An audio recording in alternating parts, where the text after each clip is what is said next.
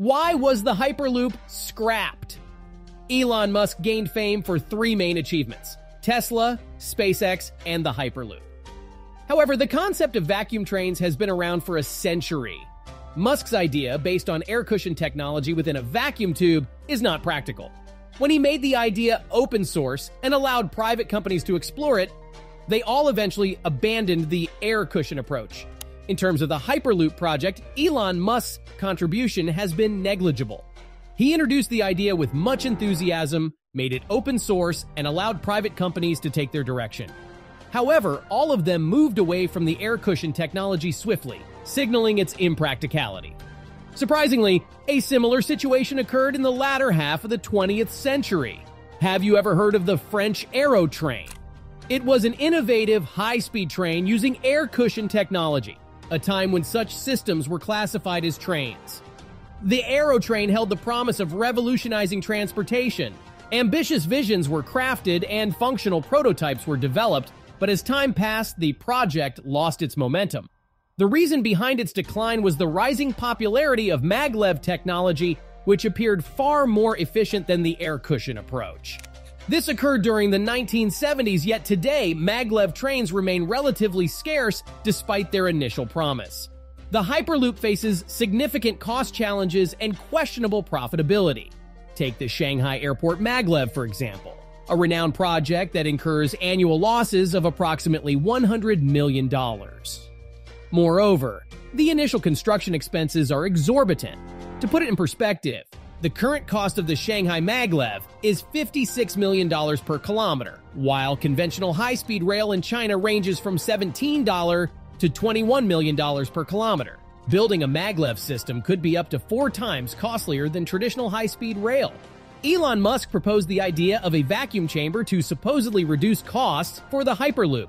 For instance, the proposed Chennai Bengaluru Hyperloop in India was estimated to cost $20 million per kilometer, which was $8 million cheaper than the conventional high speed rail being built there. However, Virgin Hyperloop 1 in 2016 offered a more realistic estimate of $134 to $193 million per kilometer. In comparison, the California high speed rail costs $164 million per kilometer. It's important to note that the high price of these projects is not solely due to being trains. You know, trains are not futuristic technology and they have been constructed at much lower cost before. The main factors driving up the exorbitant prices for projects like high speed rail and Hyperloop are external.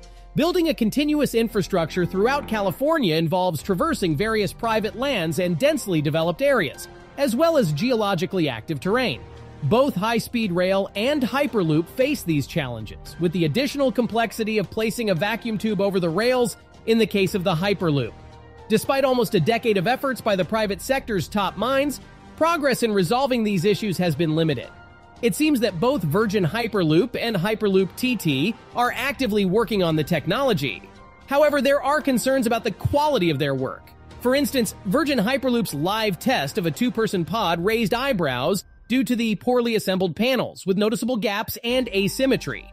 While these panels are not structural, they still reflect poorly on the overall professionalism and precision of the project. Moreover, there are suspicions that the pod's design might be a repurposed private jet fuselage, as evidenced by the oddly placed windows at shoulder height, indicating a potential lack of originality in their approach. That's right, the progress made by Virgin Hyperloop doesn't seem particularly impressive given the time span. Starting in 2014 and conducting a test with a two person pod in November 2020 should have been achieved much earlier to be considered truly groundbreaking.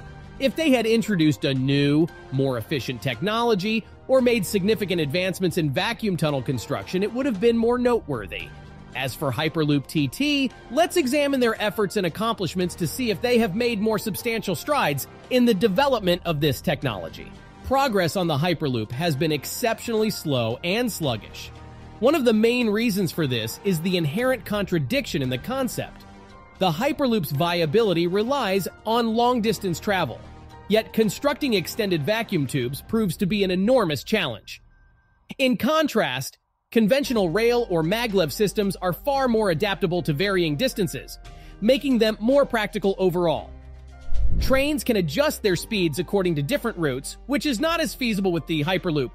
Even if there are suitable points for the Hyperloop's speed to be effective, convincing taxpayers who ultimately foot the bill to invest in this costly and complex project remains a significant hurdle. And so, if you're a decision maker and propose a Hyperloop connecting two cities, you will have a rather difficult time selling it to people. You know, everyone likes shiny CGI, and everyone seems to be uncritically accepting everything Elon Musk says. However, when it comes to their money, people tend to be much more defensive and conservative. And so, during public discussions of the Hyperloop, inconvenient questions might surface, such as instead of building this nice, shiny, high end system, which is not compatible with everything else we have, why not just improve existing infrastructure? You know, Aunt Julie has trouble climbing up the tram every day because it's a banged up high floor thing from the 1950s. And then it chugs along into the city center at 20 kilometers per hour because the tracks are busted.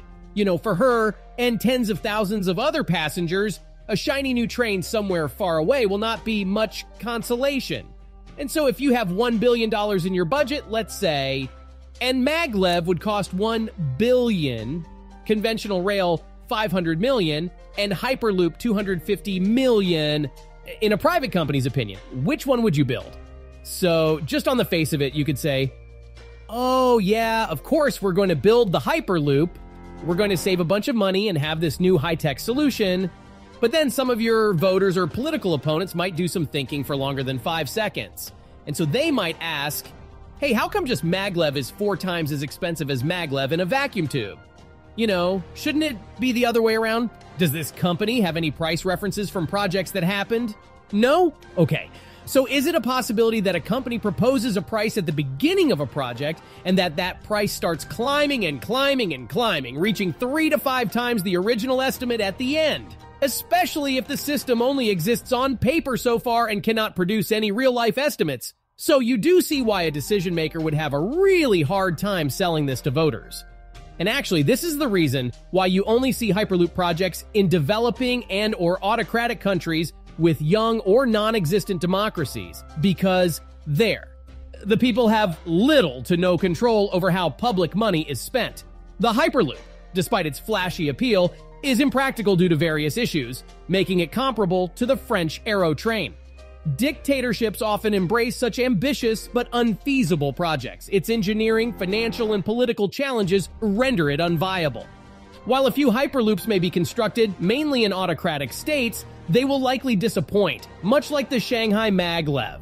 Instead of benefiting local communities, the Hyperloop would merely speed through without meaningful connections. Thus, we should not take the Hyperloop seriously, and if they wanted to, I mean, for that kind of price, they could have just built four tracks and have the middle tracks act as the express service and the outer tracks as the stopping everywhere kind of service. But no, the Chinese government, an autocratic regime, by the way, decided that the people of Shanghai need a maglev.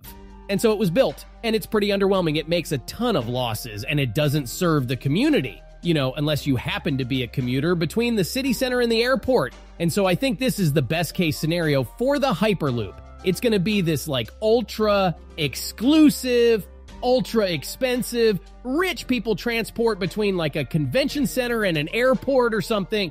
You know, two shiny, highly sanitized locations where mortals don't usually go. And so I think it is time we stop taking the Hyperloop seriously because it is nothing new. For the past century, we've been trying to come up with this, this one idea.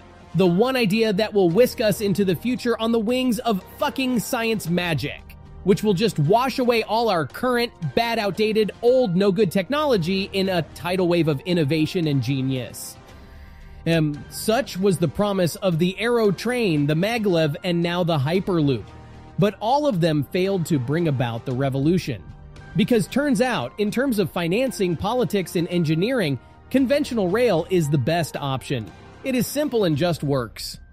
Thank you for tuning in, and if you enjoyed the content, please consider liking and subscribing. Until we meet again, take care.